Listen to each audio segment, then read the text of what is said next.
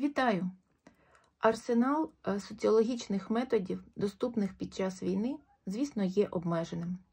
В першу чергу через питання безпеки самих дослідників, і з іншого боку, через доступність самих джерел інформації, е, доступність певних груп категорій респондентів. Ситуація складна, але не критична. Соціологія може запропонувати сьогодні методи, які е, також е, дають можливість отримати актуальну інформацію. Якими я бачу ці методи? В першу чергу, це е, так звана якісна стратегія соціологічних досліджень, це глибинні інтерв'ю, це польові дослідження, кейс-стаді. Зокрема, можу навести приклад е, на сьогоднішній день. Наші колеги в Харкові, в інших гарячих точках України ведуть такі польові замітки, е, польові дослідження. І, до речі, за можливості викладають їх е, в інтернет через Фейсбук, діляться ними.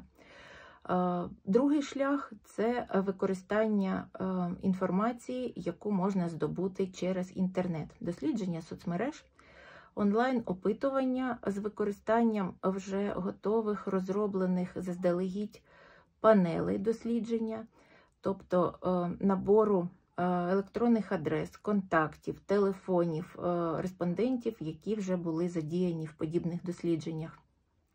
І Зрозуміло, тут дуже важливим постає питання репрезентативності, яке є актуальним і треба його е, вирішити в таких масових опитуваннях.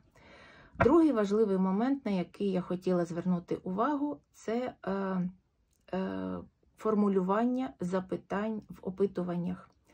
Ні в якому разі не можуть ставитися запитання, які, хоч найменшим чином, е, налаштовують респондентів на розкол суспільства, нацьковують одні соціальні групи на представників інших соціальних груп, на антагонізм щодо держави в цілому, е, і тим більше, якщо ця держава зазнає агресії з боку інших держав.